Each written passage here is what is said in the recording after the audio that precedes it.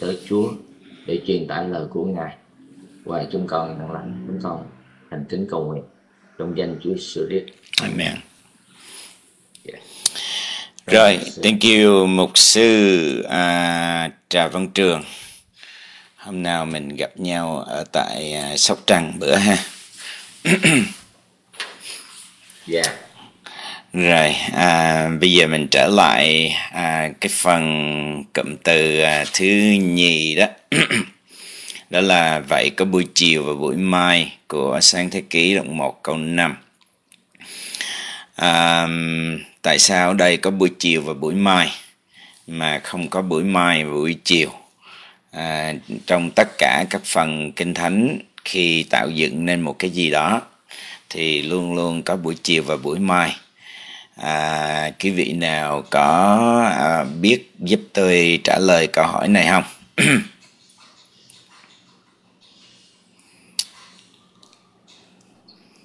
Các vị à, các thằng học gia ở trong này dạ anh Sunny.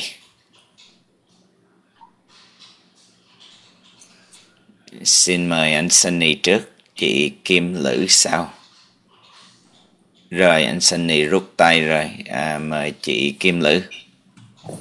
Ông mục sư ơi có phải à, à, người do thái á, họ coi ngày à, cái ngày sa bát á bắt đầu buổi chiều buổi chiều à, trời lặn. Ừ. À, đến à, buổi chiều ngày mai trời lặn là một ngày. Ừ. Có phải cái này áp dụng cho ngày sa bát không sư dạ. Thì à, tôi hỏi chị chị hỏi lại tôi sao tôi biết được tôi trả lời? Thì, thì à, cái cái ngày sa bát à, của Chúa thì bắt đầu là trời lặn ừ. À, ngày thứ sáu dạ. đến trời lặn ngày thứ bảy là một ngày. Ừ.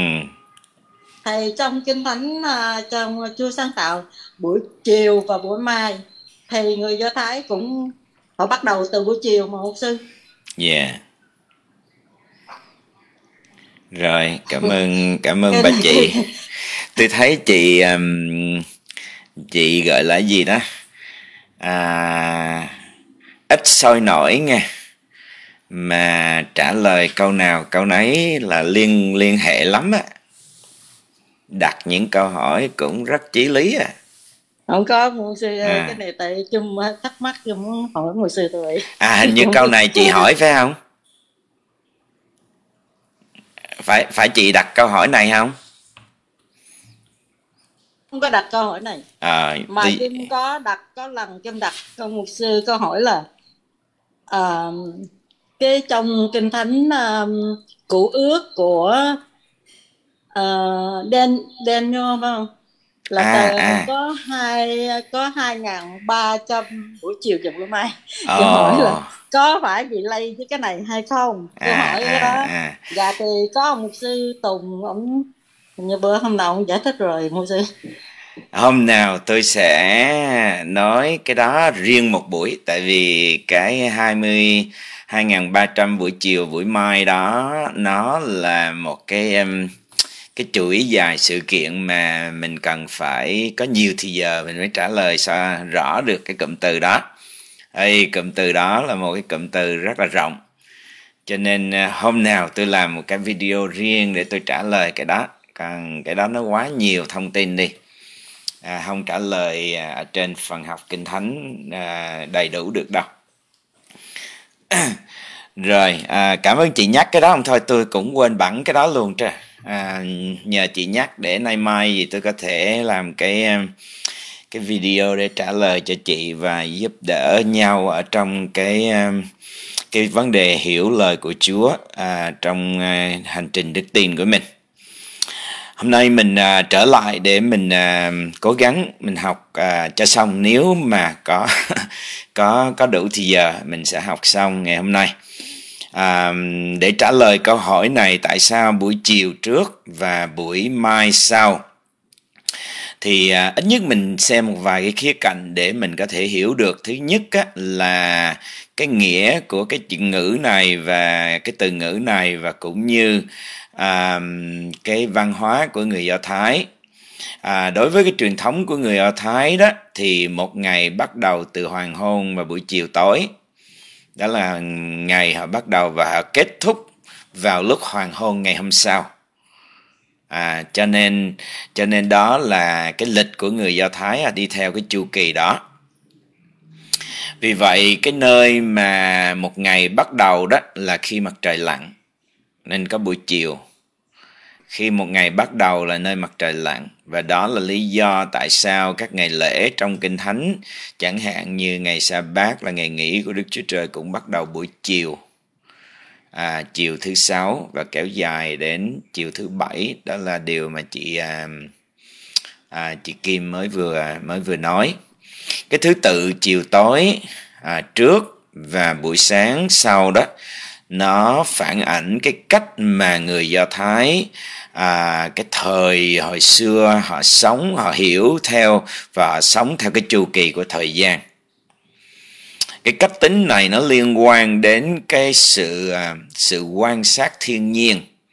Và khi một ngày mới đó thường bắt đầu bằng sự xuất hiện của những vì sao và của bóng đêm trước khi ánh sáng bình minh nó đến. Đối với cái người cái cái lịch cái tính tính lịch của người do thái đó thì họ tính theo cái cách đó.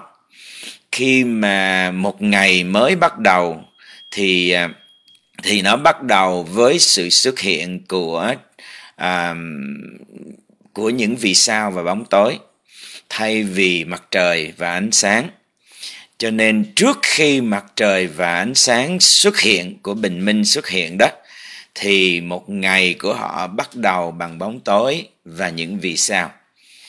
Vì vậy à, đối với cái cái chu kỳ thời gian này thì cái chu kỳ buổi chiều là bắt đầu một ngày. Và đó đó đó là lý do mà có buổi chiều rồi tới buổi mai cái thứ tự thời gian nó như vậy. Cái thứ nhì về phương diện cái biểu tượng về thần học đó thì à, buổi chiều trước và buổi mai sau thì nó mang một cái ý nghĩa thần học sâu sắc ở trong cái cái chỗ này. Cái biểu tượng cho biểu tượng cho thấy rằng cái cách của Đức Chúa Trời mang ánh sáng đi vào bóng tối. À, à mang ánh sáng đi vào bóng tối ở tại chỗ này. Cho nên theo sáng thế ký đồng 1 câu 2 đó là sự mờ mờ tối. Hay không? Sự mờ tối trên trên mặt vực à, rồi điều đó là mô tả một cái sự hỗn loạn một cái sự hỗn loạn và bóng tối à, trước khi Đức Chúa Trời phán. Trước khi Đức Chúa Trời phán thì nó là bóng tối và sự hỗn loạn.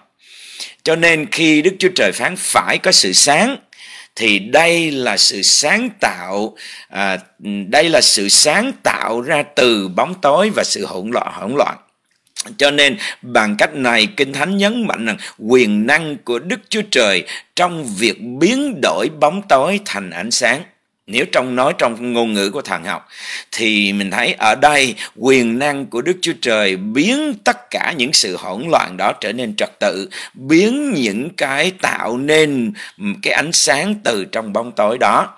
Cho nên ở đây nó nói đến về phương diện thần học nó nói đến một cái sự sáng tạo ánh sáng từ trong bóng tối.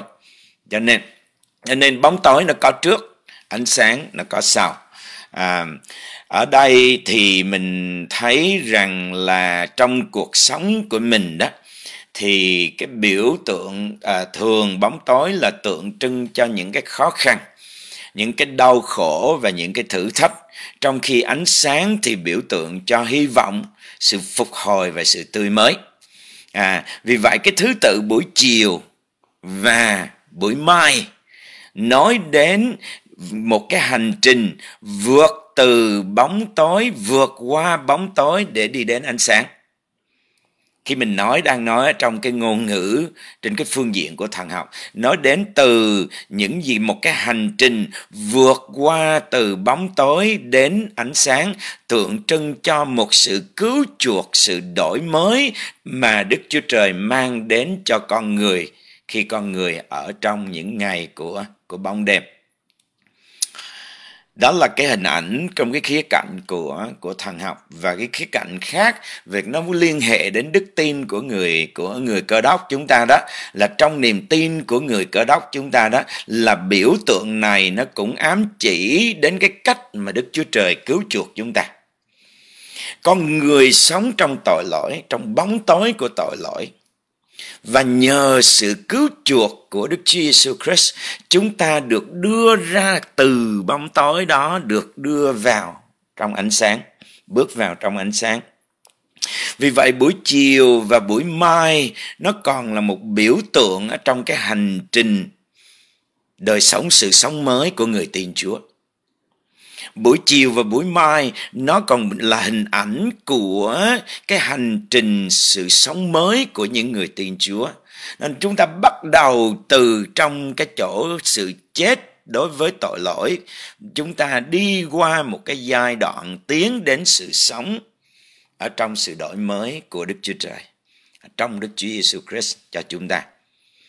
Vì vậy cái điểm mà chúng ta để ý đó là trong thực tế đó, bóng tối thường nó đi trước ánh sáng. Trong cái thực tế là bóng tối thường đi trước ánh sáng, đêm nó đến trước khi bắt đầu. Đêm nó đến trước khi bắt đầu và qua đêm đó thì ánh sáng bình minh nó bắt đầu nó nó bừng ra. Nó nó sáng ra. Đây là cái chu kỳ tự nhiên của cái thế giới mà Đức Chúa Trời đã tạo dựng nên Chúa đã tạo dựng nên như vậy. Điều này nó phản ảnh, nó nói lên một cái sự trật tự hoàn hảo mà Đức Chúa Trời đã tạo dựng. Và điều này nó cũng nhắc nhở chúng ta điều gì? Nó nhắc nhở chúng ta rằng trước khi sự phục hồi đến thì trước khi sự thành công đến, trước khi phước hạnh đến thì luôn luôn có những thời điểm của sự tối tăm luôn luôn có những cái giai đoạn khó khăn. À, vì vậy có cái câu gì mà cái gì thời cái gì tự nhiên tôi quên bẵng cái câu cái thời gì? Thời gian khó gì đó. À, tự nhiên quên mất cái câu đó. Có nghĩa rằng là trước khi ánh sáng đến trước khi bình minh đến trước khi bình an đến thì trước đó mình đối diện với bất an. Khó khăn nan đề thách thức cái thời thái lai gì đó. Cái vị nhớ cái gì mà có câu cái thời thái lai của này ánh sáng cuối đồng hầm. Hết tới hồi thái lai. Đúng rồi cái câu đó đó và bị cực hết cơn bị cực tới à, thời Thái Lai. À, đúng rồi, hết cơn bị cực tới thời Thái Lai có nghĩa rằng cái cơn bị cực đó nó nó xuất hiện mình sống ở trong đó. Bây giờ mình đi đến cái những ngày bình an nhẹ nhàng. Cho nên cái hình ảnh nó gọi là à, buổi chiều có buổi chiều và buổi mai nó nói đến những cái hình ảnh như vậy vì vậy mà chúng ta cầu nguyện à, cho chúng ta thấy được cái cụm từ có buổi chiều và buổi mai đó nó rất là quan trọng ở trong đời sống của chúng ta. Luôn luôn có buổi chiều và buổi mai. Khi buổi chiều đến thì chắc chắn chúng ta có buổi mai. Và khi chúng ta có buổi mai thì chắc chắn chúng ta sẽ có gặp những cái cái buổi chiều nó sẽ đến ở trong cuộc đời của mình. Mình không biết cái ngày đó là ngày nào thời điểm nào nhưng cứ sẵn sàng nếu chúng ta đang ở trong cái thời thái lai thì đừng vì cái thời thái lai đó mà mình quên đi những ngày tương lai mình sẽ có thể đối diện với những cái ngày bi cực đó. Ừ, nhưng mà khi ở trong những cái ngày khó khăn bi khổ đó thì đừng nghĩ rằng nó tuyệt vọng nó không còn lối thoát bởi vì ngày mai đang chờ đợi chúng ta. Buổi mai đang chờ đợi chúng ta cho nên đừng cho, điều này cho chúng ta sống một cái nếp sống quân bình, sống một cái nếp sống tin cậy, sống một cái nếp sống hiểu rằng mỗi ngày chúa cho chúng ta có tại đất này có điều có buổi chiều và buổi mai. Có những lúc chúng ta sẽ thấy cuộc đời sao nó nó lu bu quá nó nhiễu nhương quá. Nhưng có những lúc sao mình thấy cuộc đời sao nó đáng sống quá. À, mình làm sao đó mình giữa hai cái thái cực đó mà mình quân bình lại được. Để rồi lúc nào thời cảnh nào hoàn cảnh nào giai đoạn nào mình cũng không bị dao động là bởi vì mình biết chắc chắn có buổi chiều và chắc chắn có buổi mai ở trong cuộc đời của chúng ta. Vì vậy mà quý vị nhớ ca thương đoạn 3 câu 22 câu 23 không? Quý vị nhớ câu đó không? Mỗi buổi sáng thì lại mới luôn. Dạ. Yeah. tiếng của ngài là lớn lắm. Dạ yeah, dạ yeah, cảm ơn chúa điều đó. Cho nên mỗi buổi sáng thì lại mới luôn sự thành tín của đức chúa trời lại là lớn lắm. Cho nên buổi buổi buổi chiều thì sao buổi chiều nó là gì không cần, không quan trọng. Không quan trọng quan trọng là chúng ta hiểu được, chúng ta đang nằm ở trong chương trình của chúa. Mình có một đấng tạo nên buổi chiều và tạo nên buổi mai cho nên giàu cho mình ở buổi chiều hay là mình ở buổi mai thì mình đều nằm ở trong bàn tay của đấng tạo hóa. Mình nằm ở trong thẩm quyền của đấng tạo hóa. Cho nên điều đó nó cho mình một sự vững vàng, nó cho mình một sự yên tâm, nó cho mình một cái sự hiểu biết rằng là dẫu là gì đi nữa thì chúng ta vẫn nằm ở trong cánh tay công bình của đức chúa trời.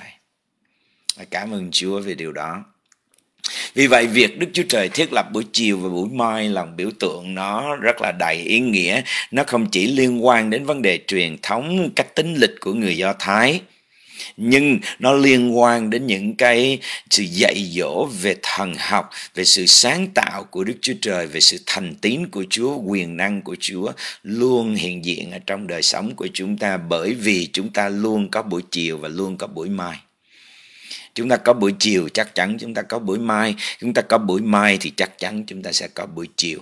Nó nhắc nhở chúng ta rằng đức chúa trời luôn luôn làm việc để làm gì? Để biến đổi bóng tối thành ánh sáng ở trong cuộc đời của chúng ta. Và mỗi buổi sáng là một cơ hội để quý vị và tôi sống ở trong ân điển và sự thương xót của chúa hàng ngày ở trong đời sống của mình. Cho nên đó là những gì mà ai đó tôi không biết ai đó đã đặt cái câu hỏi này. À, phải nói là một câu hỏi rất là hay.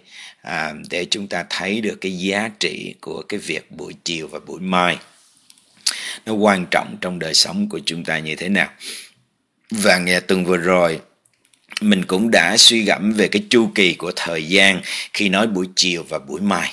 Mình đã học cái chu kỳ của thời gian rồi. Hôm nay mình sẽ tiếp tục qua cái bài học à, kế tiếp, đó là mỗi ngày là một cơ hội mới mỗi ngày là một cơ hội mới. Khi đọc đến có buổi chiều và buổi mai thì mình thấy ở đây mỗi một ngày như vậy đều có một cơ hội mới. Cái chữ buổi mai ở trong tiếng Hebrew nó không chỉ là cái nghĩa đen là buổi sáng mà thôi, mà nó còn mang một cái ý nghĩa sâu sắc về sự tỉnh thức và sự khởi mới khởi đầu mới.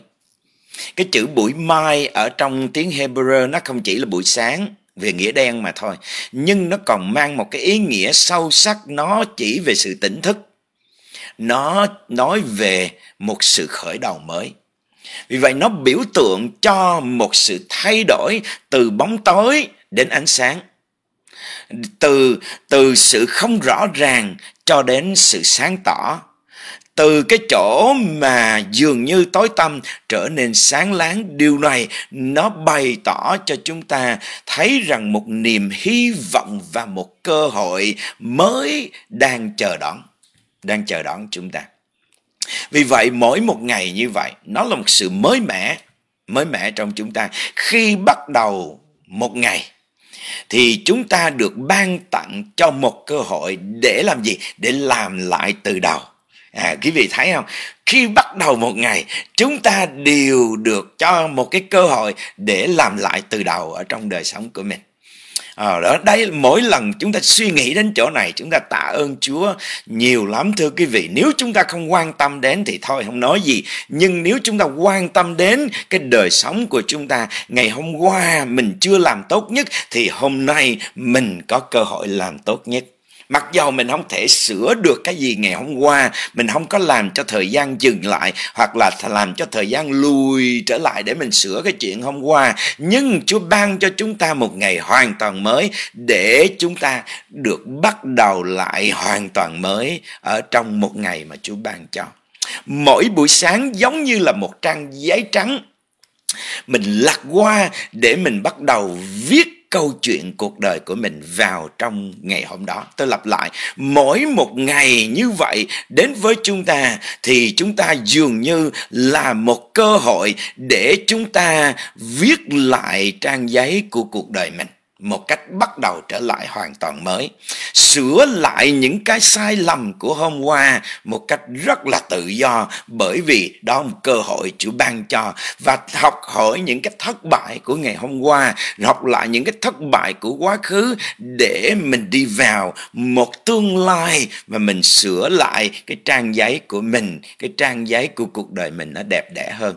Ngày hôm qua mình có thể viết nó ngoằn mèn ngoèo một chút, nhưng ngày hôm nay bởi vì cái kinh nghiệm của hôm qua, mình có thể viết lại một cách nó tròn trịa và đẹp đẽ và gọn gàng hơn.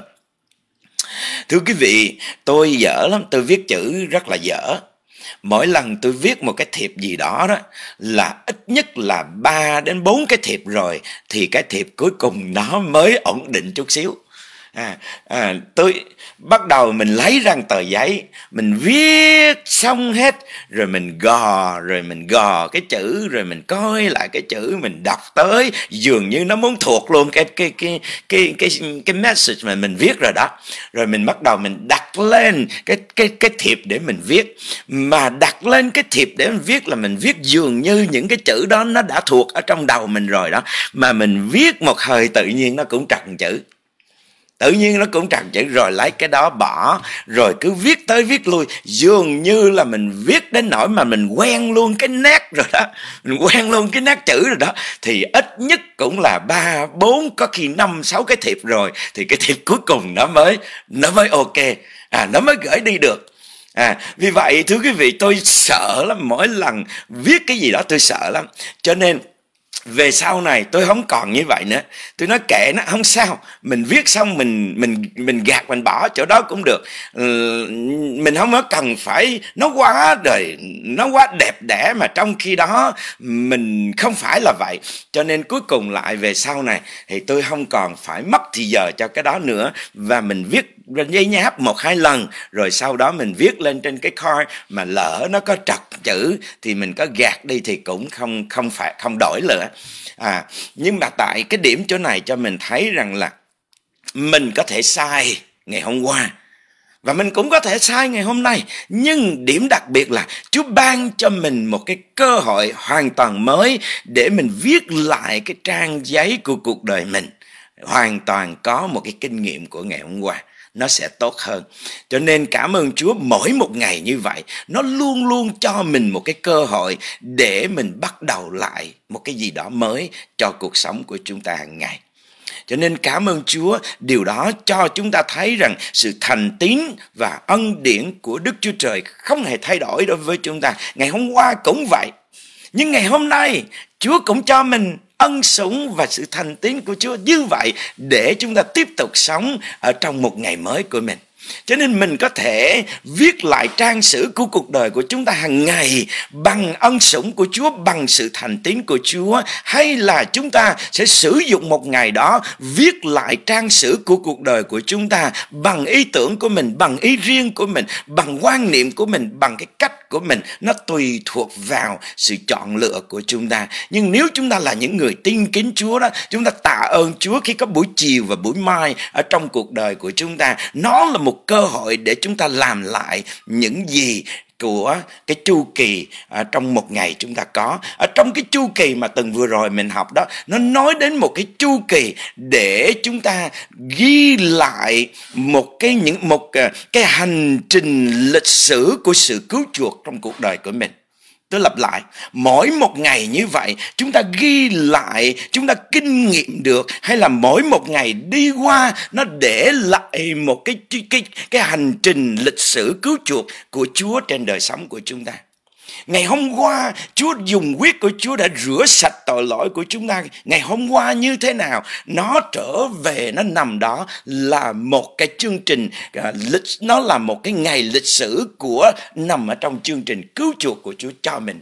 Ngày hôm qua chúng ta sống trong sự cứu chuộc của Chúa như thế nào? Ngày hôm nay chúng ta sống trong sự cứu chuộc của Chúa ra sao? Đó là những gì mà chúng ta cần phải để ý khi chúng ta đọc đến có buổi chiều và buổi mai. Và mình đang sống trong cái chu kỳ thời gian của Chúa. Và cái chu kỳ thời gian của Chúa, nó ấn chứng cho chúng ta mỗi một ngày như vậy. Chúng ta cần phải hoàn tất những gì chúng ta cần phải ghi lại cho cuộc đời của mình. Và ghi lại trong cái hành trình lịch sử của chương trình cứu chuộc của Chúa cho đời sống của mình đừng nghĩ cái cụm từ đó là cái gì đó nó to lớn, nó chỉ dùng cho lịch sử, nó dùng cho văn học, nó dùng cho cái thế giới thần học hay là cả của mấy cái ông thầy giáo sư gì, không phải đâu. Nó rất thực tế ở trong cuộc đời của chúng ta. Mỗi một ngày có buổi chiều và buổi mai ở trong cuộc đời của chúng ta, nó đi qua là một ngày chúng ta phải đối diện với cái lịch sử. Chúng ta ghi lại với cái lịch sử của đời sống mình. Mình sống ở trong sự cứu chuộc của chúa như thế nào? Để rồi cái ngày cuối cùng chúng ta gặp Chúa đó, chúng ta coi lại những cái ngày lịch sử mà chúng ta đã đi qua trong đời sống của mình. Để rồi mình thấy được tại chỗ đó cho mình biết rằng cái chỗ của mình ở đâu. Là cảm ơn Chúa về điều đó. Và thứ vì vậy, đây là một sự nhắc nhở mạnh mẽ cho từng đời sống của chúng ta. Dầu chúng ta có những ngày khó khăn hay là những cái ngày thử thách như thế nào của hôm qua, nó nặng nề như thế nào của hôm qua không thành vấn đề nhưng hôm nay chúng ta có một cơ hội mới để chúng ta xây dựng cuộc đời của mình trên cái hy vọng mình có ở trong Đức Chúa Giêsu Christ, trên sự thành tín Chúa có cho chúng ta, trên ân sủng của Chúa cho chúng ta. Vì vậy Hebrew luôn kêu gọi chúng ta hãy dạn dĩ đến gần ngôi ơn phước của của Đức Chúa Trời. Ở tại chỗ đó chúng ta nhận được phước và chúng ta tìm được những cái sự thương xót của Chúa, ơn của Chúa để sống trong cái thời kỳ có cần của đời sống của mình. Vì vậy thưa quý vị, có buổi chiều và buổi mai, nó là một liên hệ khoa học, nó là một liên hệ đến tâm tâm lý ở trong ở trong đời sống của chúng ta nếu tâm lý của chúng ta nó có một cái tâm lý tích cực đó, thì chúng ta sẽ thấy được một ngày mới với cái thái độ tích cực, một ngày mới với cái thái độ vui mừng, một ngày mới với cái thái độ nhận biết sự tể trị của chúa hoàn toàn trong buổi chiều và buổi mai đó. Nó cho chúng ta có một cái thái độ tích cực ở trong cuộc sống của mình. Nó giúp cải thiện tâm trạng của chúng ta nó giúp cải thiện hoàn cảnh của chúng ta, thay vì chúng ta bị bị stress, thay vì khủng hoảng, bị áp lực ở trong cuộc sống, thì thưa quý vị, cái thái độ tích cực đó, nó cải thiện cái tâm trạng của chúng ta, nó giúp chúng ta thêm lên những cái động lực và nó nâng cao sức khỏe tinh thần của chúng ta và nó giúp cho chúng ta qua một buổi chiều và buổi mai đó, chúng ta nhận thấy chúng ta thật sự rất xứng đáng để sống chứ không phải chúng ta có một buổi chiều và buổi mai rồi mình có một cái gì đó uể oải, nặng nề nhưng thưa quý vị, nếu chúng ta thấy được cái buổi chiều và buổi mai đó nó nằm ở trong kế hoạch của Đức Chúa Trời, nó nằm ở trong sự tể trị của Chúa, Chúa sẽ dẫn chúng ta đi từ bóng đêm đó wow vào trong ánh sáng của hy vọng thì chúng ta sẽ có một cái tâm lý rất là tích cực đó. Thì tự nhiên chúng ta sẽ có những cái năng lực rất là đặc biệt và thêm lên cho chúng ta sự dạng dĩ, sự mạnh mẽ, hầu chúng ta vững vàng và khôn ngoan trong sáng trong cuộc sống hàng ngày của mình. Và thưa quý vị, cái việc chúng ta thức dậy, suy nghĩ những gì có thể đạt được trong một ngày đó, nó tạo nên một cái sự thay đổi mạnh mẽ trong cách nhìn của chúng ta về cuộc sống. Mỗi buổi sáng chúng ta thức dậy đó, chúng ta đối diện với một buổi buổi mai của mình đó. Thì chúng ta thấy nếu trong những trường hợp đó, chúng ta có bắt đầu một buổi buổi chiều thiết là ngọt ngào, một buổi mai chúng ta sẽ rất là ngọt ngào một buổi chiều chúng ta bắt đầu và nó rất là tích cực, thì buổi mai đó nó sẽ càng tích cực hơn. Cho nên chúng ta cầu nguyện cảm ơn Chúa buổi chiều và buổi mai ở trong đời sống của chúng ta. Vì vậy, cái tên, cái cái vấn đề của chúng ta khi ý thức được buổi chiều và buổi mai, nó giúp chúng ta sử dụng buổi mai này. Buổi mai này có một mục tiêu trong một kế hoạch cho một ngày mới để chúng ta cùng hướng tới một cái cái chuỗi ngày thiệt là ngọt ngào ở trong Chúa hướng tới một ngày thiệt là đầy trọn vẹn ở trong Chúa cho nên một lần nữa thì thiên á, gia cơ nói à, ca thương Ca thương đoạn 3 câu 22 23 nói là lòng thương xót của Đức Giê-hô-va như thế nào? Chẳng hề dứt. Sự thương xót của Ngài không hề cùng. Mỗi buổi sáng thì lại mới luôn. Sự thành tín của Chúa là lớn lắm. Nên chúng ta tạ ơn Chúa. Mỗi buổi sáng thì lại mới luôn sự thành tín của Chúa thật lớn lắm. Điều này nó khẳng định cho chúng ta rằng lòng thương xót của Đức Chúa Trời luôn luôn mới mỗi buổi sáng.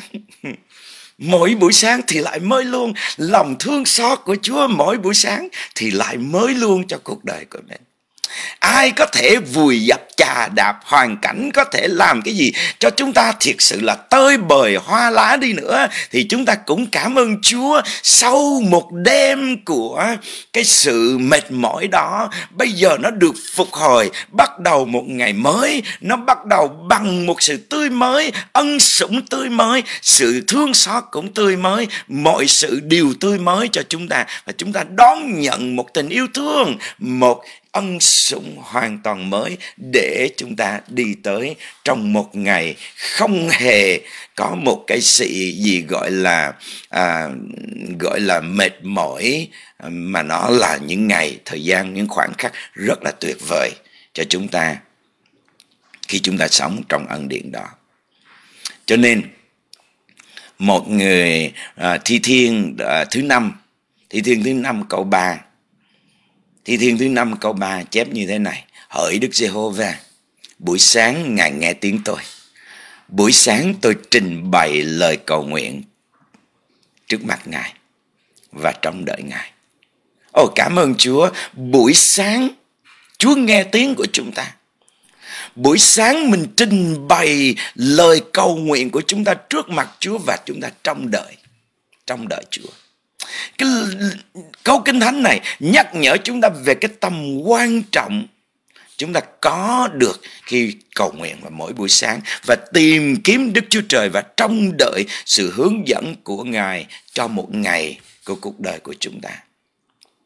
Vì thế, cái cụm, cái chữ mà có buổi mai đó, cái chữ có buổi mai ở đây đó, nó cho chúng ta thấy rằng mỗi một ngày là một cơ hội, một cơ hội mới có buổi chiều và buổi mai cho chúng ta thấy mỗi một ngày là một cơ hội mới cho chúng ta. Để chúng ta không những chỉ phát triển cái bản thân của mình, mà còn phục vụ Đức Chúa Trời với một cái lòng biết ơn và chúng ta quyết tâm ở trong cái sự phục vụ đó mỗi một ngày như vậy, chúa ban cho chúng ta một cơ hội mới để chúng ta bắt đầu làm tốt hơn cho bản thân của mình và phục vụ chúa với một cái tâm lòng biết ơn chúa và quyết tâm hơn. Ngày hôm qua mình rề rề quá, bây giờ mình quyết tâm hơn, mình mạnh mẽ hơn, mình nóng cháy hơn ở trong sự kính mến và và phục vụ chúa khi bắt đầu bằng một ngày bằng cách này đó khi chúng ta bắt đầu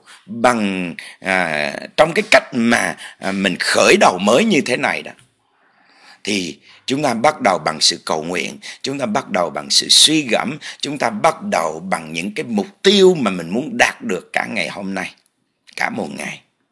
Chúng ta chuẩn bị những điều này chuẩn bị điều kia thì thưa quý vị chắc chắn chúng ta sẽ được Chúa dẫn dắt để hoàn thành cái mục đích của Ngài trên đời sống của chúng ta.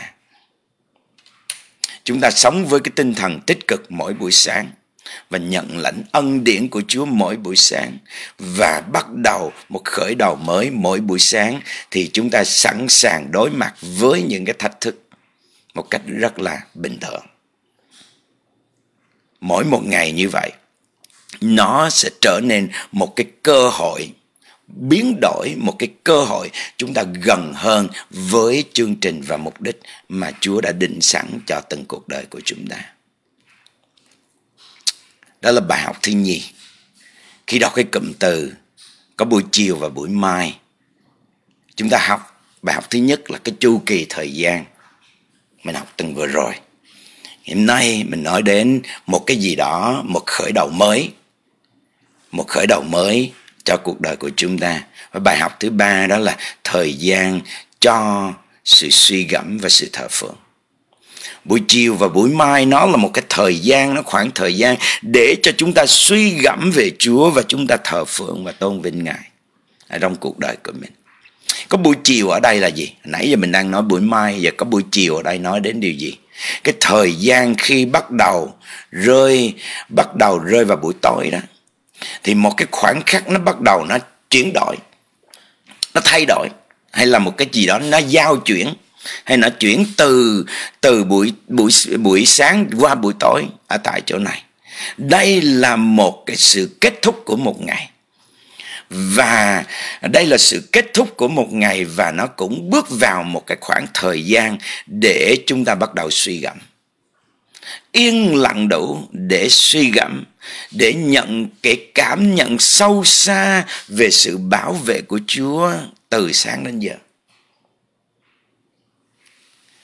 Vì vậy chúng ta thấy trong cái hình ảnh này nó không chỉ là một giấc ngủ mà còn lại một cái tâm hồn, một cái tâm tâm trạng đó là mình nằm ở trong một cái chỗ được Chúa ban cho để nghỉ ngơi và phục hồi lại khi nói đến buổi chiều. Cho nên tại đây nó cho chúng ta thấy cái buổi chiều này, nó cho chúng ta thấy cái tầm quan trọng, cái tầm quan trọng của cái sự suy gẫm.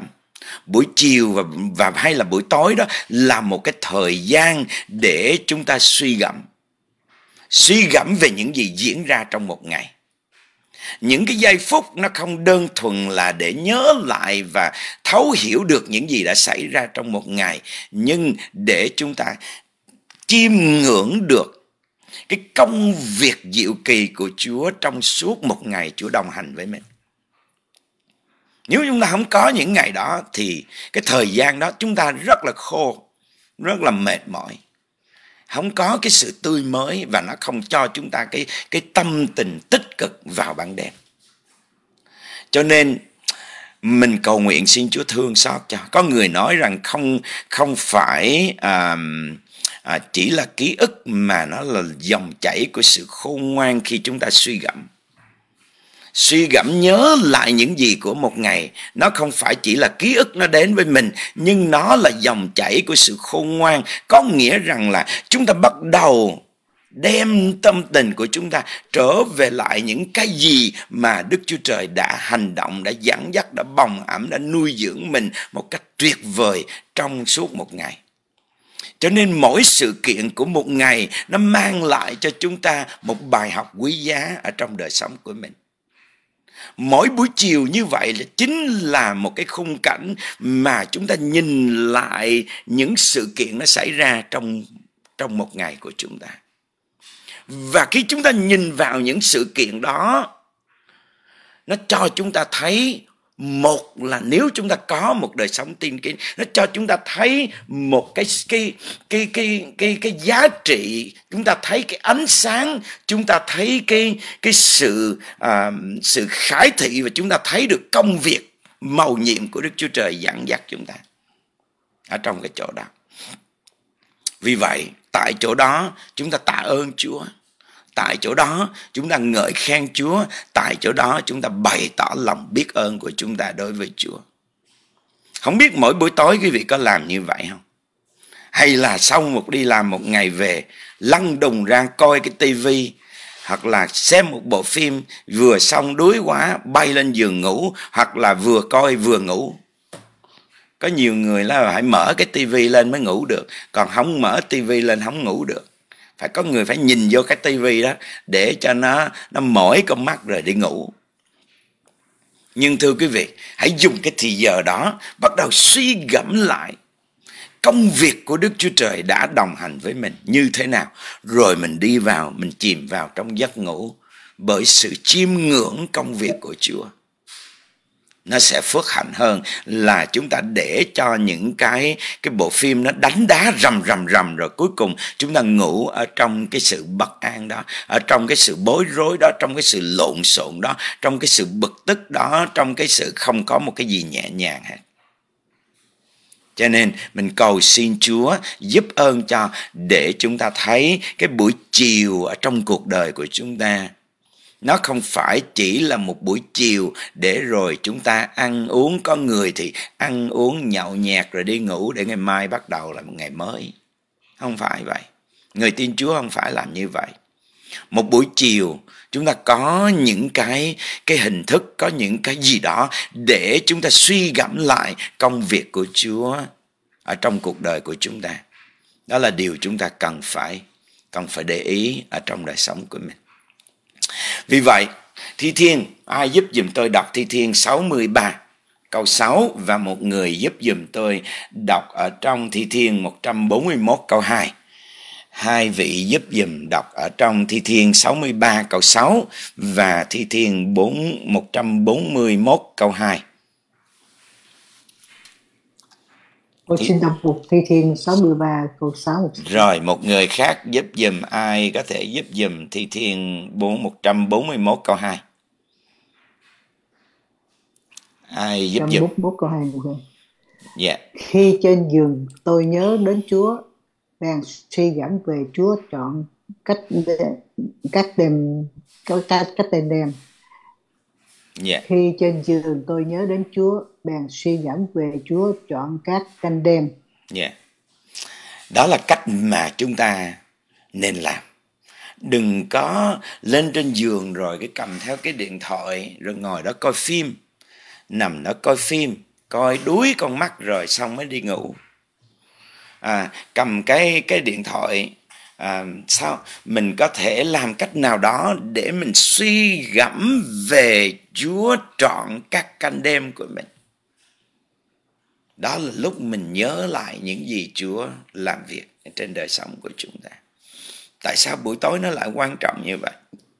Vì đó là lúc chúng ta nhớ đến Đức Chúa Trời một cách trọn vẹn nhất sau khi mình nghỉ ngơi tất cả mọi công việc, đây là lúc chúng ta quay trở về nhớ lại và để cho mọi cái sự náo nhiệt của đời đó nó rời khỏi đời sống của mình, để mình yên lặng đủ để giữa mình với chúa. Thông công với nhau. Đó là cái chúng ta cần có ở trong đời sống của mình. Một người nào đọc dùm thi thiên 141 tôi xin đọc luôn thư. 41 câu 2 Dạ, 41 câu 2. Dạ, tôi đọc. Nguyện lời cầu nguyện tôi thấu đến trước mặt Chúa như hương. Nguyện sự giơ tay tôi lên trước được giống như của lễ buổi chiều. Dạ, yeah, cảm ơn Chúa. Của lễ và buổi chiều ở trong cuộc đời của chúng ta. Chúng ta cần có cái của lễ và buổi chiều đó. Bởi vì mình mình đó là lúc mình không còn phải à, bôn bôn ba nữa. Buổi sáng mình có cái phần của buổi sáng nhưng đôi khi nó cũng nôn nã ở trong cái buổi sáng. Nhưng buổi chiều sau khi mọi sự nó lắng động xuống hết rồi chúng ta tập trung vào tắm rửa đâu đó hết rồi bắt đầu nằm xuống suy gẫm về công việc của ngài. Ồ chúng ta giơ đời tay chúng ta lên tạ ơn chúa giơ tay gì đó. Giơ tay tôi lên như của lễ buổi chiều. Giơ tay lên có nghĩa là gì? Mình hướng về Chúa. hướng về Chúa tận hiến cuộc đời của mình. Chúa ơi, cuộc đời của con đây, bây giờ bây giờ con xong công việc một ngày rồi, bây giờ con dâng đây dâng cho Chúa, con đến với Chúa như một của lễ trong ơn của Chúa. Ngài phán với con, ngài nói chuyện với con. Của lễ buổi sáng và của lễ buổi chiều đối với dân sự của Chúa mỗi buổi sáng có một của lễ và buổi chiều có một của lễ ngày hôm nay chúng ta buổi sáng buổi chiều buổi trưa gì chúng ta cũng có của lễ cả đó là trong Đức Chúa Giêsu Christ chính Ngài là của lễ cho chúng ta. Vì vậy thưa quý vị, buổi sáng chúng ta đến với Chúa, buổi chiều chúng ta đến với Chúa. Cảm ơn Chúa bởi vì Ngài đồng hành với chúng ta trong những ngày của ban đêm và Ngài cũng đồng hành với chúng ta trong những ngày của buổi mai. Nên chúng ta tạ ơn Chúa về điều đó. Một lần nữa, hành động cầu nguyện vào mỗi buổi tối nó không chỉ là một cái thói quen nhưng nó là một cái tôi thường gọi nó là một nghi thức thánh đó. Nó là một nghi thức thánh. Nó là một của lễ chúng ta dâng lên cho Chúa. Cho nên nếu ai làm được cái điều đó trong đời sống của mình, tôi kích lệ quý vị nên làm điều đó. Để giữ mình ở trong cái đời sống tin kính hàng ngày. Thưa quý vị, bằng cách chúng ta dành một buổi tối, mỗi buổi tối, để suy gẫm và thờ phượng tạ ơn Chúa chúng ta không những củng cố lại cái mối quan hệ giữa chúng ta với Đức Chúa Trời mà chúng ta còn chuẩn bị tâm linh của chúng ta cho một ngày mới. Chúng ta chuẩn bị tâm linh cho chúng của chúng ta, cuộc đời của chúng ta cho một ngày mới bằng cái buổi chiều đó. Và buổi chiều nó là bắt đầu, nó bước bắt đầu bằng một ngày. Cho nên chúng ta chuẩn bị điều đó bằng một cái tâm tình nối kết với Chúa. Chúng ta chuẩn bị cuộc đời của chúng ta là một của lễ để dâng cho Chúa. Và điều này nó cũng giúp chúng ta rằng khi chúng ta ở trong những cái khoảng khắc của khó khăn thì chúng ta cũng phải ý thức được rằng mình cũng dâng cuộc đời của mình làm của lễ cho Chúa. Và thưa quý vị, khi chúng ta dâng cuộc đời của chúng ta làm của lễ cho Chúa, ngay ở trong cái hoàn cảnh gọi là ban đêm của chúng ta đó, thì thưa quý vị, tự nhiên chúng ta sẽ thấy được một cái phước hạnh nó vượt lên trên tất cả những cái gì đó rất bình thường và tự nhiên của con người. Và mình có một cái gì đó phi thường, mình bứt phá một cái phi thường và đức tin của mình nó vượt trội lên những cái quy định cần có ở trong cuộc đời của mình. Và mình có một cái kinh nghiệm đặc biệt ở trong hành trình đức tin của chúng ta. Mình không có sống bình thường nè. Mình không sống một cái lối sống bình thường hàng ngày nữa mà mình bắt đầu sống một cái lối sống phi thường ở trong đức tin của mình hàng ngày hãy nói, mình cần có những điều đó. Mỗi một ngày như vậy, mỗi một buổi tối như vậy, chúng ta có thì giờ để suy gẫm, có thì giờ để thờ phượng, có thì giờ để tạ ơn. Chúng ta đang làm một việc, đó là củng cố lại đức tin của chúng ta và chuẩn bị cho tâm linh của chúng ta một ngày mới, để chúng ta bước vào một ngày mới phước hạnh và mạnh mẽ điều này nó mang lại cho chúng ta một cái bình an trong tâm, nội tâm của chúng ta, bình an cái con người bề trong của chúng ta, và nó còn mở ra cho chúng ta một cái cánh cửa để bước vào sự hiện diện của Chúa vào buổi tối. Chúng ta bước vào sự hiện diện của Chúa, bước vào phước lành của Đức Chúa Trời, bước vào phước công, công việc của Chúa mỗi buổi tối như vậy và cuộc đời của chúng ta nó trở nên một cuộc đời phi thường ở trong đức tin của mình. Hãy nhớ mỗi buổi tối nó không phải là chỉ kết thúc mà nó là một khởi đầu. Chúng ta nhớ điều đó mỗi buổi tối nó kết thúc cho buổi sáng, nhưng nó khởi đầu cho cho buổi buổi tối vì vậy nó khởi đầu cho một ngày vì vậy chúng ta cầu nguyện xin Chúa cho chúng ta thấy được cái khởi đầu thiêng liêng này nó cần có trong đời sống của chúng ta. Vì vậy cái cụm từ mà vậy có buổi chiều và buổi mai là trong Kinh Thánh không chỉ mô tả cái chu kỳ của thời gian mà nó chứa đựng cho chúng ta những cái hình ảnh sâu sắc về cái cách chúng ta tương tác với thế giới xung quanh và chúng ta làm thế nào đó để ngày và đêm chúng ta được Đức Chúa Trời mang lại cho chúng ta để chúng ta sống ở trong cái trật tự của Chúa sống ở trong cái trật tự của Chúa và nó là một cái cơ hội để mang chúng ta đến cái chỗ suy gẫm. Chúng ta biết ơn Chúa, chúng ta thờ phượng Chúa, chúng ta củng cố lại mối quan hệ giữa chúng ta với Chúa và chúng ta chuẩn bị tâm linh cho chúng, của chúng ta cho một ngày mới đầy phước hạnh. Vì vậy, chúng ta cầu nguyện xin Chúa thương xót đến từng cuộc đời của chúng ta hãy để chúng ta không chỉ nhìn buổi chiều và buổi mai như là một cái thời điểm ở trong ngày mà nó qua đi một cách vô ích, nhưng nó là những cái cơ hội để chúng ta bắt đầu lại từ đầu. Để chúng ta tạ ơn chúa hàng ngày. Để chúng ta phát triển đời sống đức tin của chúng ta. Để chúng ta ghi chép lại những trang giấy của cuộc đời mình bằng những cái gì đó phước hạnh và ngọt ngào hơn mỗi ngày. Bằng cách sống ý thức đó chúng ta có được những khoảnh khắc chúng ta sẽ có được hay là chúng ta sẽ thừa hưởng được những cái khoảnh khắc thật phước hạnh và ngọt ngào ở trong mối quan hệ giữa chúng ta với Chúa, giữa chúng ta với nhau, giữa chúng ta với công việc của mình và giữa chúng ta với cái hành trình đức tin này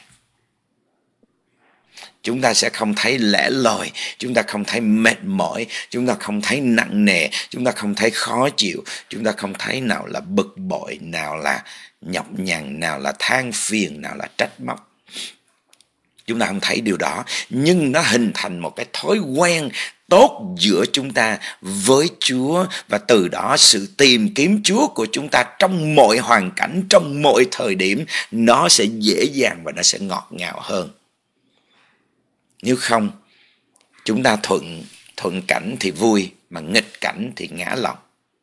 Mình không còn sống cái cách đó nữa người tin Chúa mình không còn sống cái cách đó nữa. Đặc biệt là những ngày vừa qua mình trao dồi cái đời sống đức tin của mình ở trong lời của Chúa mình xây dựng ở trong lời của Chúa. Cho nên mình không còn phải sống một cái đức tin mà cái cuộc sống mà à, than thở trách móc phiền phức rồi lên án chỉ trích điều, điều này điều kia mình không còn quan tâm đến điều đó nữa mình quan tâm đến một ngày có buổi chiều của mình như thế nào và buổi mai của mình ra sao và chúng ta thừa hiểu được một điều là buổi chiều nó cũng nằm ở trong Chúa và buổi mai nó cũng nằm trong sự tạo dựng của Chúa.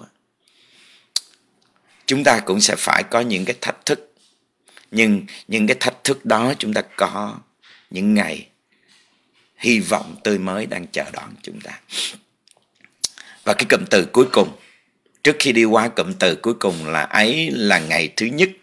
Chúng tôi tôi muốn dừng lại tại đây để quý vị nào có những câu hỏi liên quan đến cái cụm từ nó gọi là ấy, có ấy là có buổi chiều và buổi mai. Nếu quý vị nào còn đắc thắc mắc gì ở chỗ đó nữa cho tôi biết và có ai có gì chia sẻ trong chỗ này? Xin chia sẻ. Nếu không thì chúng ta bước qua cái cụm từ cuối cùng ở tại trong câu số 5 này. Ấy là ngày thứ nhất. Có ai có câu hỏi gì không? Hay là chúng ta đang ngáy? Chắc có lẽ bữa nay à, tại miêu hết rồi cho nên có gáy cũng không ai biết không ai nghe. Rồi bây giờ mình à, trở lại cái cụm từ cuối cùng rồi mình à, sẽ hoàn tất à, câu số 5 rồi. Cái đó là cố tình cố tình. cố tình ngấy cố tình ngấy để phá rồi mình trở lại câu uh, câu uh, cái cụm từ này đó là ấy là ngày thứ nhất. Cái bài học đầu tiên cho chúng ta ở đây đó là khởi đầu của thời gian. Ấy là ngày thứ nhất. Khởi đầu của thời gian hoặc là khởi đầu cái kế hoạch của đức chúa trời. Cái chữ cái cụm từ chữ ngày thứ nhất ở trong nguyên ngữ trong tiếng Hebrew đó nó không chỉ đơn thuần là số một mà nó còn gợi ý lên cái ý tưởng rằng là sự thống nhất và sự duy nhất. Sự thống nhất và sự duy nhất. Nó không chỉ là số một trong nghĩa đen, nhưng mà nó có một cái ý tưởng rằng là sự thống nhất hoặc là sự sự duy nhất, cái tính duy nhất.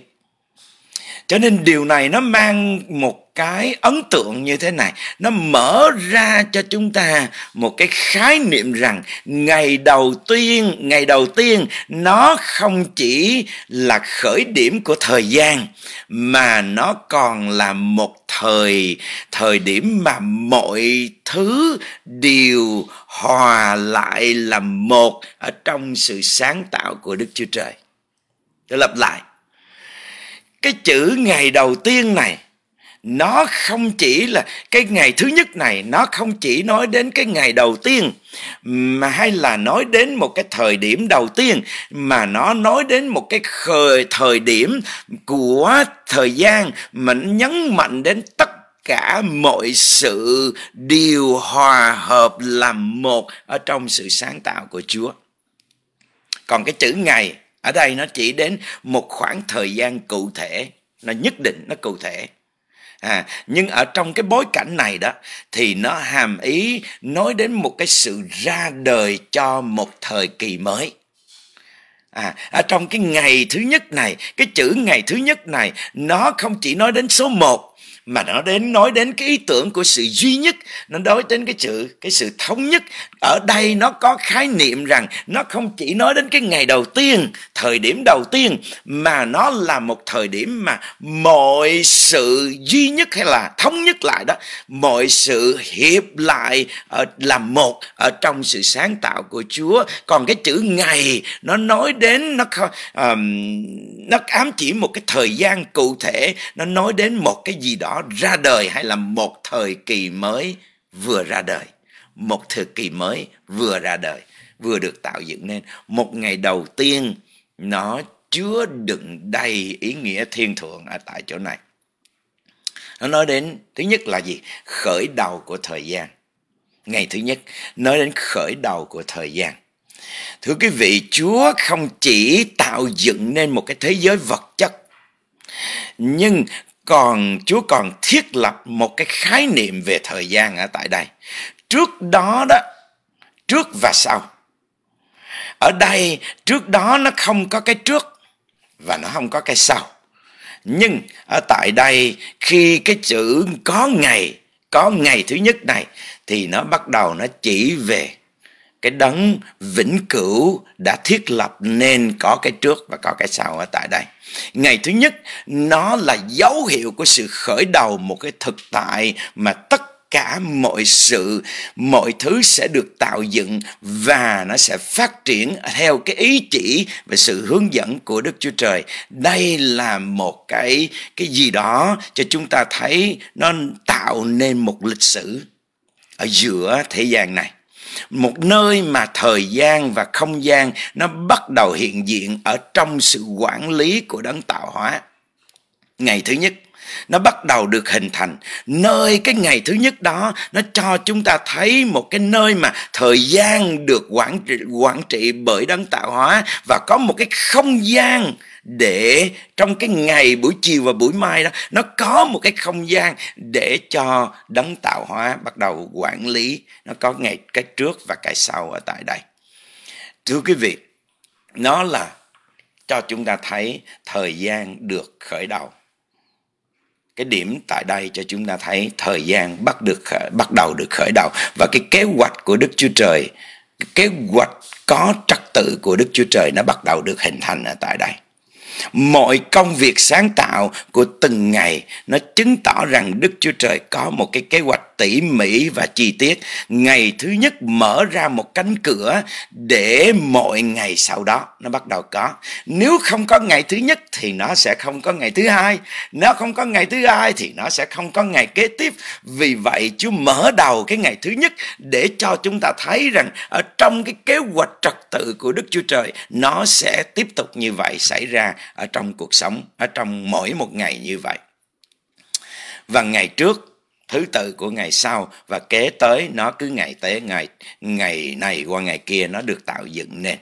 Một cái thế giới được tạo dựng nên trong trật tự, trong hài hòa, ở trong sự hoàn hảo. Và đây là một sự sáng tạo. Nó không phải ngẫu hứng, mà nó được thực hiện bằng một kế hoạch có mục tiêu rõ ràng của Đức Chúa Trời.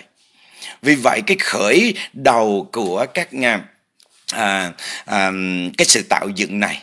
Và các nhà khoa học đó mô tả điều này cũng rất là rõ ràng.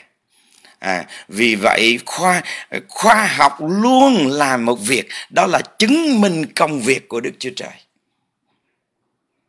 Khoa học làm một việc là luôn luôn tìm cách để để để chứng minh rằng chúa đã tự tạo dựng nên vậy. Chúa đã tạo dựng nên thế kia. Chứ không phải khoa học tạo nên những điều đó. Như vậy thì chúng ta thấy sự kiện của ngày thứ nhất nó tương ứng với cái khái niệm về thời điểm khởi đầu duy nhất. Nơi thời gian và không gian được khai sanh ra bởi đấng tạo hóa.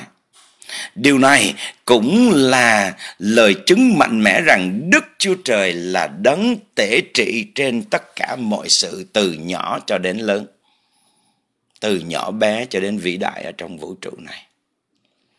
Tất cả những điều này nó có vẻ như là lý thuyết. Nhưng thưa quý vị, nó là một cái khởi đầu cho từng đời sống của chúng ta. Ở đây có ai có ngày thứ nhất không? Ở đây có ai không có ngày thứ nhất ở trong cuộc đời của mình không?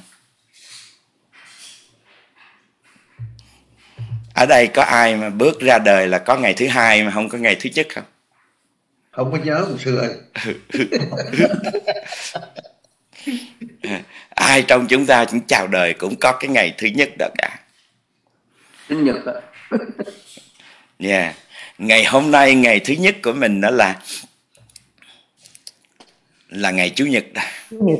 Ừ, chủ nhật à, hình như à, hôm chủ nhật có ai chạy tới hỏi với tôi là ủa tại sao mà mình không có ngày thứ nhất mà mình có ngày thứ hai?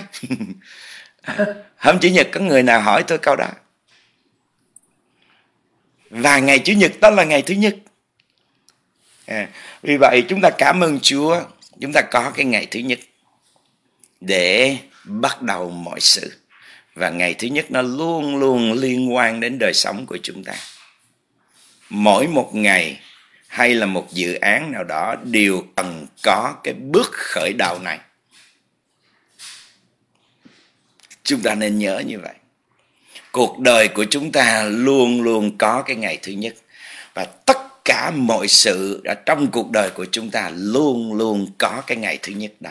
Luôn luôn có một sự khởi đầu này đừng ai trong chúng ta nhảy vô làm bất cứ một điều gì mà không có cái khởi đầu. Cái khởi đầu đối với chúa rất là quan trọng. Vì vậy, chúa thiết lập cái ngày thứ nhất. Chúa tạo dựng nên ngày thứ nhất. Và từ đó nó có những ngày kế tiếp. Điều này đòi hỏi một sự chuẩn bị, một cái ý chí mạnh mẽ. Chứ nó không phải là cứ hứng đâu làm đó, bạ đâu làm đó. Không phải vậy. Chúa có cái kế hoạch, Chúa có cái chương trình. Ở đây mọi sự được hiệp nhất lại. Hiệp nhất lại, hòa lại thành một. Ở trong cái kế hoạch của Chúa. Như vậy khi chúng ta bắt đầu một điều gì đó mới mẻ, như một công việc gì đó mới mẻ, một mối quan hệ mới mẻ, một dự, dự án nào đó, thì chúng ta nên nhớ coi nó như là ngày thứ nhất để bắt đầu. Đừng xem thường. Đừng xem thường cái điều này. Khởi đầu, mới khởi đầu nó luôn luôn có ý nghĩa trong đời sống đức tin của chúng ta. Những cái ngày khởi đầu đó. Vì vậy nó là một cái cơ hội để chúng ta sống ở trong cái kế hoạch, để chúng ta sống ở trong một cái tổ chức, sống ở trong một cái mục đích và đi trong cái chỗ mà có một cái khởi đầu để mình đi. Vì vậy một vị nào giúp dùm tôi đọc ở trong Khải Quyền đoạn 21 câu 5 và Corinto thứ nhì đoạn 5 câu 17. Mình đọc mấy câu kinh thánh này mình cầu nguyện với nhau. Còn nữa mà. 21 câu 5 câu Dạ, Khải Quyền 21 câu 5. Dạ, xin đọc. Đấng ngự trên ngôi phán rằng, Này, ta làm mới lại hết thảy muôn vật. Đoạn lại rằng, hãy chép vì những lời này đều trung tính và chân thật. Dạ hết. Dạ. Ta làm mới lại mọi mọi vật. Ta làm mới lại mọi vật. Ngày thứ nhất ta làm mới lại mọi vật. Những cái hỗn loạn đó, những cái lộn xộn đó ta làm mới lại. Ở trong cuộc đời của chúng ta, Chúa cũng làm mới lại. Vì vậy hãy bắt đầu luôn luôn khi chúng ta khởi đầu một ngày mới ấy là buổi chiều và buổi mai ấy là ngày thứ nhất thì thưa quý vị chúng ta luôn luôn có cái cơ hội để để làm lại điều đó cho nên cầu nguyện xin Chúa cho chúng ta nhờ ơn Chúa đặt mình vào trong chỗ này câu 5 đoạn 5 câu 17 hai hai hai đoạn câu cô đô gì đoạn 5 câu 17 năm một dạ vậy nếu ai ở trong đấng Christ thì nấy là đường dựng dựng dựng nên mới những sự cũ đã qua đi này mọi sự đều trở nên mới Dạ. Như vậy thì ấy là ngày thứ nhất. Mọi sự đều đều trở nên mới. Mới. Ấy là ngày thứ nhất. Chúng ta bắt đầu cái gì? Ngày mai. Bây giờ tối nay mình học xong. Chúa ơi bây giờ con bắt đầu ngày thứ nhất. Bắt đầu lại mới. Xin chúa làm mới lại đời sống con. Những cái cũ nó qua đi. Những cái giận hờn bất bội. Bữa nay ổng cà khịa con mấy lần. Dẹp nó đi. Chúa tha thứ cho. Để con bắt đầu ngày bắt đầu một cái gì mới của ngày hôm nay. Amen. Amen. những cái gì cũ con không quan tâm nữa, mà con bắt đầu một cái mới. Con cảm ơn Chúa cho con một ngày. Con cảm ơn Chúa cho con buổi chiều này, cho con buổi tối này, để con suy gẫm về Chúa. Con nằm trên giường tư tưởng con, tâm hồn con, tâm linh con, suy tưởng về Chúa qua các canh đêm. Xin Chúa ban sự bình tĩnh cho con. Thánh linh của Đức Chúa Trời chế ngự con. Sự bình an vượt qua sự hiểu biết của chúng con đó chế ngự và ngự trị trong lòng và ý tưởng của con. Để những cái cũ nó qua đi nay con bắt đầu một ngày mới. Trong cái giấc ngủ này nguyện Chúa ban cho bình an. Để ngày mai con tiếp tục một ngày ở trong năng lực mới của Chúa. Để chúng con đi tới. Thưa quý vị bằng cách chấp nhận một khởi đầu mới mà Đức Chúa Trời đã ban dành ban cho chúng ta. Chúng ta bước vào mối quan hệ mới mẻ với Chúa. Và chúng ta bước vào mối quan hệ mới mẻ với những người chung quanh. Chúng ta bước vào mối quan hệ mới mẻ với tất cả những công việc của chúng ta. Chúng ta sẽ không thấy cái chuyện ngày mai chúng ta đi làm là một cái nhọc nhằn, mệt mỏi nữa. Nhưng chúng ta thấy đó là một cơ hội phước hạnh, một cơ hội mới mẻ, cơ hội Chúa ban cho chúng ta sẽ không phải thấy những cái gì gọi là mệt nặng nề, nhưng chúng ta thấy một sự can đảm, chúng ta thấy lòng tin của chúng ta vào đức chúa trời một cách tuyệt đối và chúng ta sẵn sàng đặt mình ở trong sự dẫn dắt của chúa vào sáng ngày mai. Tối nay chúng ta nghỉ ngơi, ngày mai Chỗ này Chúa nghỉ ngơi, Chúa phục hồi lại mọi sự. Ngày mai chúng ta đặt mình ở trong một cái con người khôn ngoan đó, trong một cái con người được đầy đủ đó, trong một con người điều đầy nhuệ khí đó, để chúng ta đặt mình ở trong sự dẫn dắt của Chúa, để rồi tất cả mọi sự ở trên trong sinh hoạt của chúng ta một ngày nó chỉ là những khởi đầu mới trong kế hoạch tuyệt vời của Đức Chúa Trời cho từng cuộc đời của chúng ta. Cảm ơn Chúa điều đó. Thưa quý vị, một ngày mới, ấy là ngày thứ nhất, nó cũng nói lên sự hoàn hảo của Đức Chúa Trời. Sự hoàn hảo trong kế hoạch của Đức Chúa Trời. Cái chữ một đó, nó nói lên một cái cái sự hệ thống, nó nói lên một cái sự thống nhất tuyệt đối. Cái chữ một đó, một ấy là ngày thứ nhất đó chỗ đó nó nói lên một cái hệ thời cái sự thống nhất tuyệt đối cái sự hoàn hảo trọn vẹn ấy là ngày thứ nhất nó nói lên cho chúng ta thấy được sự tạo dựng của đức chúa trời. Một khởi đầu đó là một sự trọn vẹn một sự thống nhất tuyệt đối mà đức chúa trời đã đã tạo dựng nên. Cho nên thưa quý vị, một ngày của chúng ta bắt đầu nó có vẻ rã rời, nó có vẻ rời rạc nhưng thưa không đâu, tất cả những điều đó đều nằm ở trong cái kế hoạch tuyệt đối của Chúa, nằm ở trong cái chương trình hoàn hảo nhất của Chúa, nó nằm ở trong cái kết quả nó gọi là toàn hảo trọn vẹn nhất của Đức Chúa Trời. Ở trong cái chương trình của Chúa bởi vì nó được tạo dựng nên bởi một bản chất một Đức Chúa Trời có một bản chất không có gì có thể thay đổi được. Và đó là sự hợp nhất duy nhất không chia rẽ và nó luôn luôn trọn vẹn. Cái chữ một này. Cho nên chúng ta cảm ơn Chúa, ngày thứ nhất là một khởi đầu cho chúng ta trong sự trọn vẹn khi Đức Chúa Trời nói rằng ấy là ngày thứ nhất, Ngài không chỉ tạo dựng nên không gian, không trở trở nên trời, ánh sáng và buổi tối, thời gian hay là gì cả, nhưng mà tại đây Chúa đang tạo nên bắt đầu một kế hoạch toàn hảo của Ngài và một cái cuộc hành trình xây dựng mọi thứ nó chính xác một cách tuyệt đối. Cho nên thưa quý vị, chúng ta có buổi chiều và buổi mai ở trong cuộc đời của mình.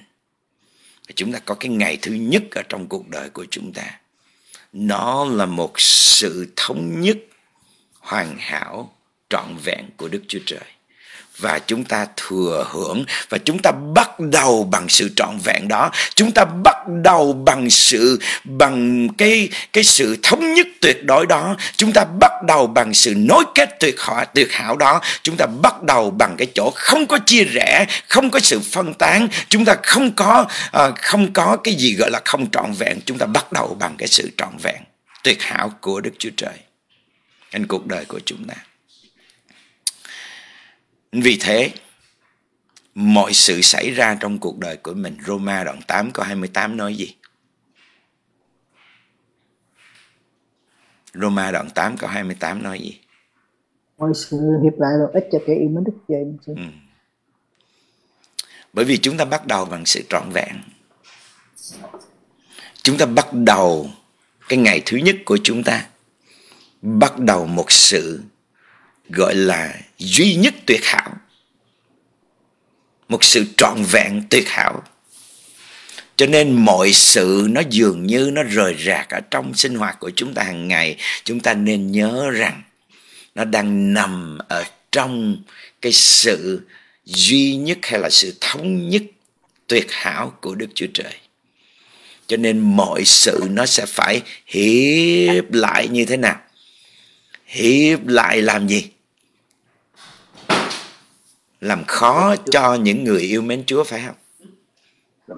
Không, nó làm lợi ích lợi cho những người yêu mến Chúa cả mọi thứ nó rời rạc chỗ này chỗ kia, nhưng nó không không tự phân rẽ được, nó không phân rẽ được. Bởi vì Chúa dựng nên nó để làm gì? Nó mang ích lợi, nó hiệp lại để nó mang ích lợi cho những người yêu mến Chúa. Chỉ có những người không yêu mến Chúa mới thấy những điều đó là phiền, mới thấy những điều đó là chia rẽ, mới thấy những điều đó là gánh nặng, mới thấy những điều đó là những gì tiêu cực. Nhưng thưa quý vị, nó là những phước hạnh nó là những ích lợi cho những người yêu mến Ngài.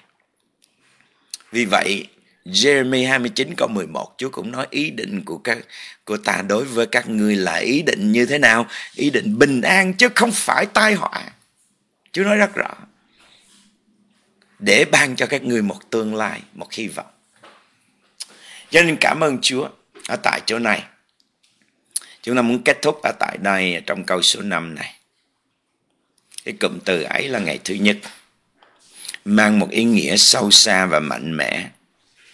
Nó không chỉ đánh dấu một thời gian, nhưng nó biểu tượng cho một sự khởi đầu kế hoạch hoàn hảo của Đức Chúa Trời và không có cái gì có thể lay chuyển được cái ngày thứ nhất đó. Không có cái gì có thể phân được cái số một đó ra được không có cái gì có thể xé rách cái số một đó bởi vì nó được tạo dựng nên trong cái thống nhất toàn hảo, cái duy nhất toàn hảo. Vì vậy chúng ta cảm ơn Chúa. Chúa tạo dựng nên một khởi đầu mạnh mạnh mẽ đó, chắc chắn đó, không lay chuyển đó, để khẳng định rằng khi một cách chính xác rằng trong từng bước đi của chúng ta, ở trong chương trình kế hoạch của Đức Chúa Trời những gì Đức Chúa Trời tạo dựng nên ở trong cuộc đời của chúng ta không có gì lay chuyển được đâu. Hãy cứ giữ mình ở trong Chúa, ở trong kế hoạch của Chúa. Để tại chỗ đó chúng ta từng bước đi của chúng ta sẽ chắc chắn vững vàng không rung động ở trong công trình tạo dựng của Đức Chúa Trời. Dạ kính mời bà Loan. À, thưa chào mục sư chào anh chị em. Dạ thưa trong cái uh, sách sáng thế ký này chương một là có những cái điều mà mình chấp nhận.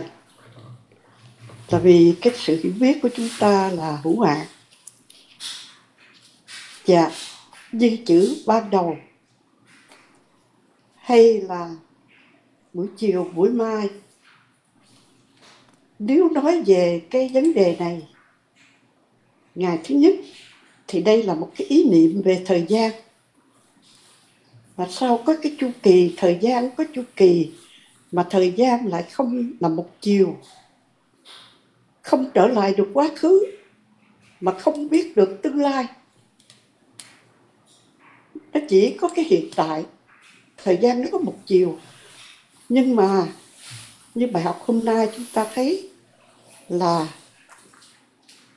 buổi chiều, rồi buổi mai, rồi buổi chiều. Đây là một cái chu kỳ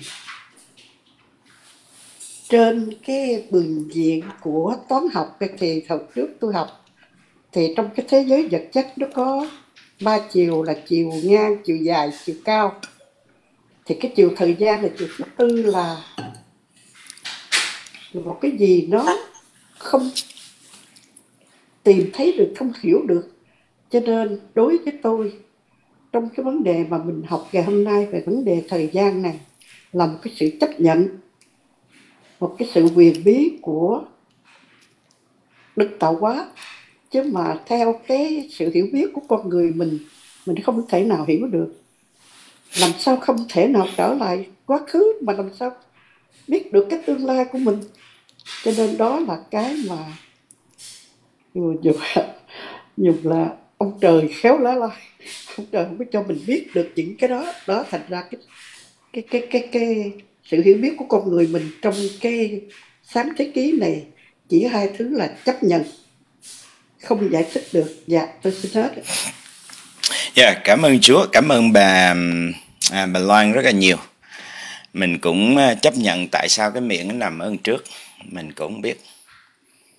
À, tại sao cái à, à, mình có hai con mắt mình cũng không biết tại sao con mắt nó thấy mình cũng không biết tại sao cái miệng tại sao cái miệng nó nói mà cái tay nó nói nói tay nó cũng nhấp nhấp mà tại sao không ra tiếng? Mục sư. Dạ. Có mục sư nói về có câu chuyện cái ông họa sĩ đó. Ông dạ. nói à, Chúa là đấng sáng tạo bức tranh tuyệt hảo nhưng mà tại sao Chúa lại à, đặt cái khu vui chơi giải trí cái nơi mà xấu xa dơ bẩn nhất ông thắc mắc với Chúa vậy đó. Chúa hỏi lại ông nhưng mà con có thích không? Nó dạ con thích.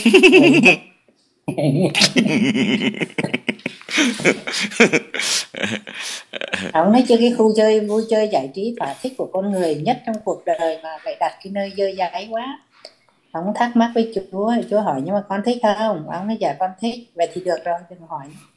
Vậy hỏi chi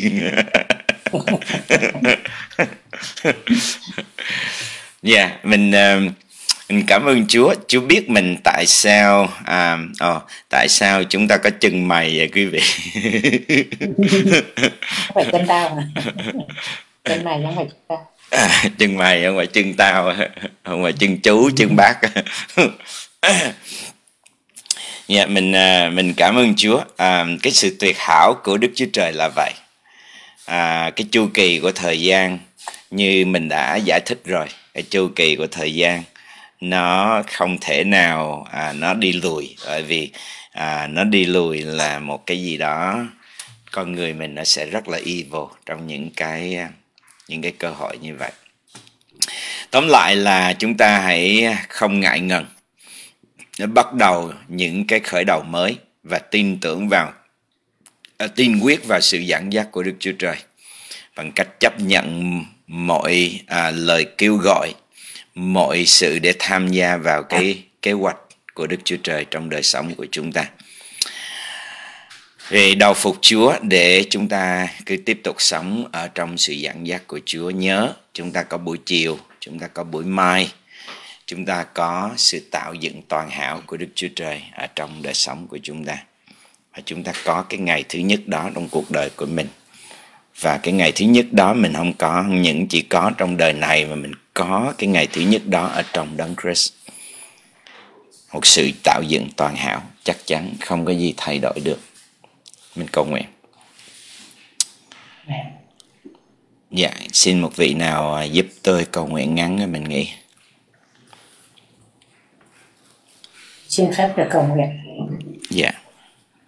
Con kính lạy Đức Chúa Trời toàn năng đấng đã dựng nên trời đất biển và muôn vật con cảm ơn Chúa vì hôm nay chúng con lại được cùng với mục sư học và đào sâu để hiểu thêm những bí sử mà Chúa ban phát cho nhân loại, cho tạo vật của Chúa. Chúng con cảm ơn Chúa. Giờ đây Chúa ở cùng với mục sư một giấc ngủ ngon lành để sáng mai còn tiếp tục công việc ngày mới. Chúa ở cùng với quý ông bà anh chị em chúng con để chúng con trong giấc ngủ được được an lành trong sự tạo dựng của Ngài. Con cảm tạ Chúa, con cầu nguyện trong danh Chúa Giêsu Christ. Amen. Amen. Rồi, cảm ơn quý vị nhiều. Kính chúc quý vị ngủ ngon. Dạ. Mục sư có mục sư Tùng Nam Cali lên mục sư. Nhưng mà mình trả lời rồi. Thôi. để để khi khác vậy. À, khi khác có câu hỏi gì có khó quý vị đặt quý vị hỏi ông. Rồi, Chúa ban phước cho tất cả quý vị. Kính chúc quý vị ngủ ngon. Kính hẹn lại à, mục sư Chúa ngày mai. mục sư và ban phước cho mục sư nhiều. Ngủ ngon. Dạ. Là mục sư tối tối, tối nay ngủ được mục sư khỏi cần sầu tháo được nữa. hết rồi, hết rồi. dạ. Dạ kính chào quý mục sư, quý bà chị em bên Mỹ ngủ ngon à. Rồi, kính chúc quý vị bình yên.